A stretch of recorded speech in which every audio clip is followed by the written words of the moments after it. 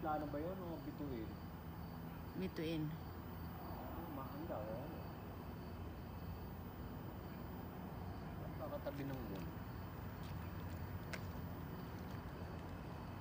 Jupiter ba yan?